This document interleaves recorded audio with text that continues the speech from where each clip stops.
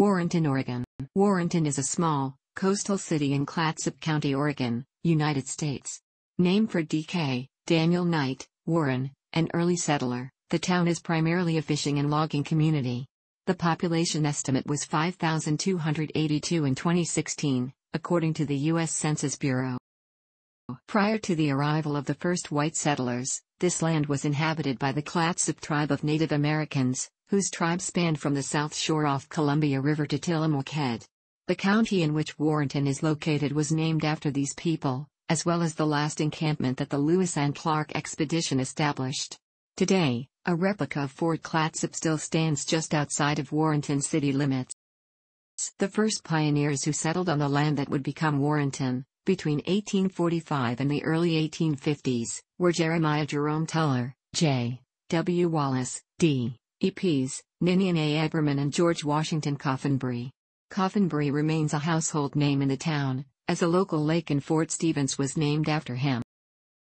The first settlement within Warrenton city limits was Lexington, which was laid out in 1848, and served as the first county seat for Clatsop County. The name fell out of use for a time, and the area became known as Skipanon, a name that is now preserved by the Skipanon River, which flows through Thetown. A Lexington post office operated intermittently between 1850 and 1857. A Skipanon post office operated without a break from 1871 to 1903. In 1863, the military battery, Fort Stevens, was built in the Warrenton area near the mouth of the Columbia River. Though military activity ceased in 1947, Fort Stevens remains are preserved as part of Lewis and Clark National and State Historical Parks.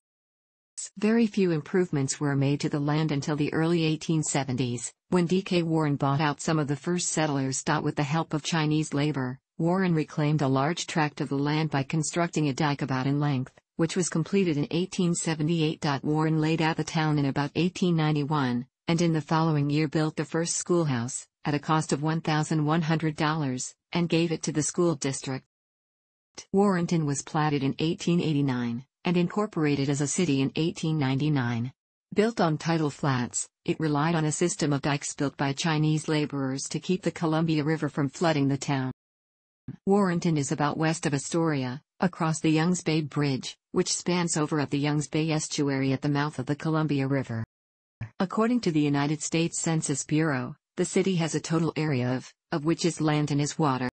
Warrenton has one charter fishing port in Hammond and a major commercial fishing port in downtown Warrenton.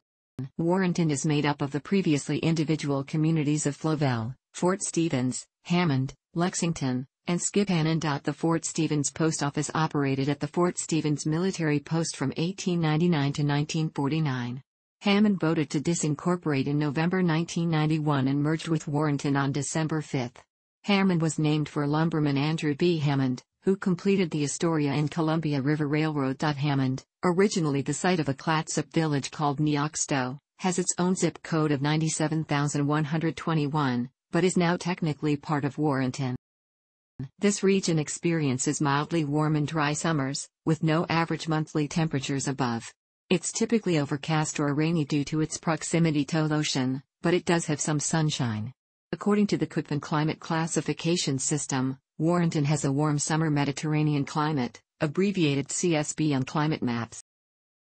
As of the census of 2010, there were 4,989 people, 1,948 households, and 1,287 families residing in the city. The population density was.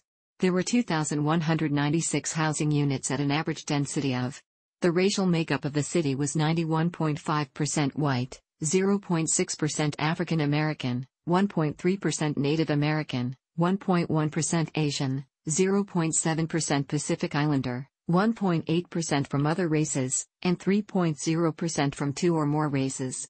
Hispanic or Latino of any race were 5.7% of the population. There were 1,948 households of which 31.3% had children under the age of 18 living with him, 48.5% were married couples living together, 11.7% had a female householder with no husband present, 5.9% had a male householder with no wife present, and 33.9% were non families.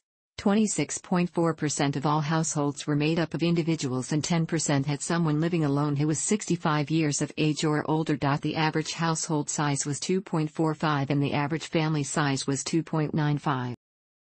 The median age in the city was 37.6 years. 23.8% of residents were under the age of 18, 9.8% were between the ages of 18 and 24, 25.2% were from 25 to 44, 27.4% were from 45 to 64, and 14% were 65 years of age or older. The gender makeup of the city was 51.0% male and 49.0% female. At the 2000 census, there were 4,096 people, 1,621 households and 1,087 families residing in the city. The population density was 332.2 per square mile, 128.3 per square kilometer. There were 1,799 housing units at an average density of 145.9 per square mile, 56.3 per square kilometer. The racial makeup of the city was 92.53% white, 0.22% African American, 1.32% Native American, 1.76% Asian, 0.07% Pacific Islander, 1.27% from other races, and 2.83% from two or more races. Hispanic or Latino of any race were 2.91% of the population.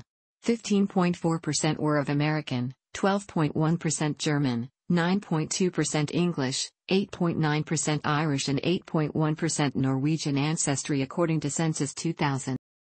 There were 1,621 households of which 33.7% had children under the age of 18 living with him, 52.1% were married couples living together, 11.0% had a female householder with no husband present, and 32.9% were non-families.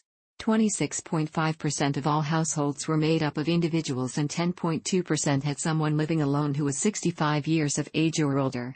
The average household size was 2.49 and the average family size was 3.00. Age distribution was 26.6% under the age of 18, 8.2% from 18 to 24, 29.8% from 25 to 44, 22.4% from 45 to 64, and 13.1% who were 65 years of age or older. The median age was 37 years.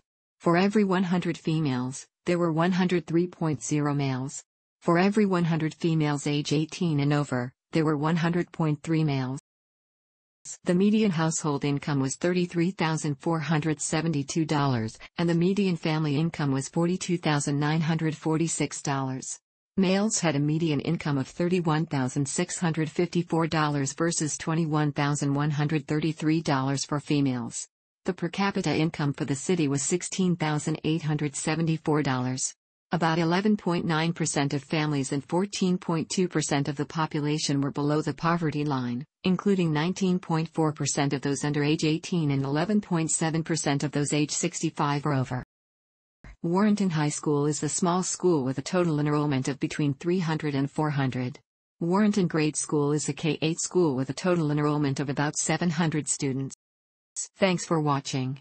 Don't forget like the video and don't forget to subscribe.